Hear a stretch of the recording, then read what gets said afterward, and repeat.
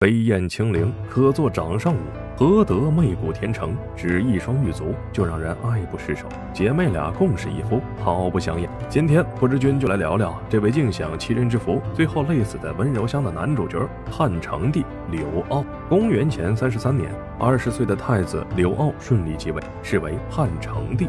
刘骜这人啊，会享受。首当其冲的要数他的开放。西汉名臣张安世有一个曾孙，名叫张放。那个张放长得那叫水灵，细皮嫩肉，典型的小鲜肉，而且还是一个世袭的富平侯。当时刘骜对张放那叫一个喜欢，两个人不管是白天还是黑夜都黏糊在一起，形影不离呀。后来身为皇太后王政君实在看不下去了，随便找了个罪名把张放给流放了。按说太后已经出手，荒唐的刘骜。该收敛一点吧。可是你猜怎么着？这个刘骜啊，不仅不思悔改，反而变本加厉，在荒唐之路上踩着油门啊，越跑越远。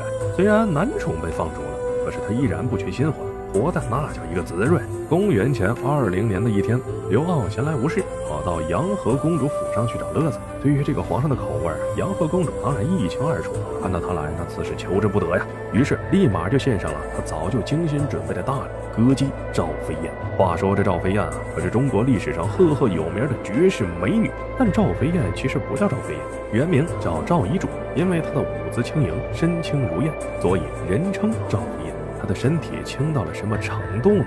据说能做掌上舞。相传汉成帝曾经为赵飞燕打造了一个水晶盘，让工人手托着盘子，然后让赵飞燕站在水晶盘上，竟然还可以潇洒起舞。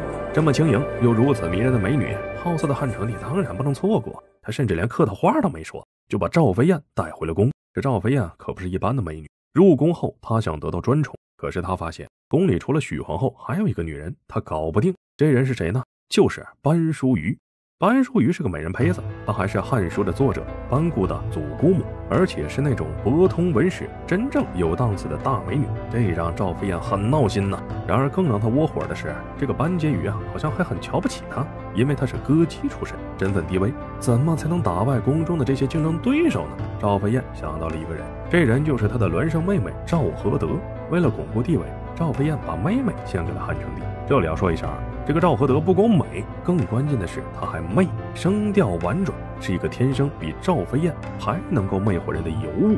史书上记载，地常骚烈，触血得疾，因缓弱不能壮发。那意思是说啊，汉成帝因为有一次早上冒雪打猎，受了风寒，身体方面出了问题，但是每吃昭仪足，不胜治愈，辄暴起。也就是说。每当他把玩昭仪、赵合德的脚时，就变得亢奋不已。这一下，汉成帝真的就玩完了。有了赵氏两姐妹，轮流承欢，夜夜销魂。原先宠爱的许皇后、班婕妤，全部被他丢到了九霄云外。但赵氏姐妹的算盘并没有就此打住，尤其是赵飞燕，她想向着更高的位置迈进。可问题就是，许皇后虽然失宠，但本身没有过错，不能平白无故的把皇后废掉。于是赵飞燕只能静待时机。不成想，还真让她等到了。据史料记载，当时连续三年出现了日食，这种现象古人称之为阴盛，不是一个好兆头。古人相信这是后宫里有地位的女人失德才导致。谁失德呢？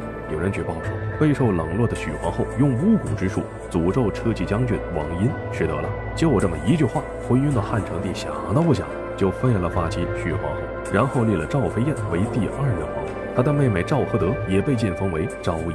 在后宫，除了皇太后王政君外，这赵氏姐妹俩可以说是一手遮天。此后十年，赵氏姐妹受尽刘骜的恩宠，享尽了荣华富贵。但是随着年龄增长，她们慢慢发现一个致命的危险正在向她们逼近。什么危险呢？想想太后王政君就知道。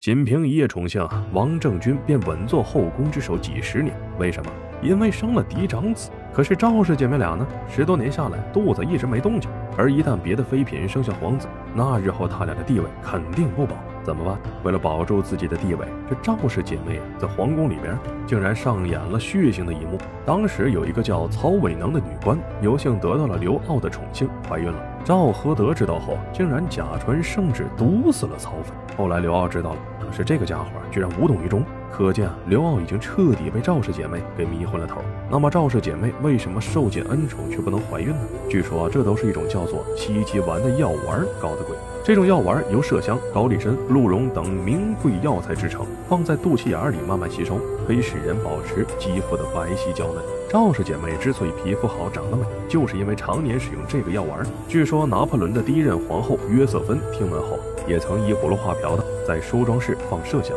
但拿破仑对皮毛过敏，闻得浑身发痒。话说回来，这个药丸还有个副作用，就是会导致女人不孕。是这个刘傲根本不在乎。整天在后宫夜夜笙歌。公元前七年三月的某天，刘傲夜宿未央宫，与赵合德又是一夜快活。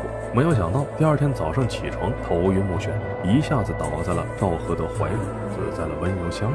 因为刘傲的突然驾崩，惶恐不安的赵合德很快就自杀了。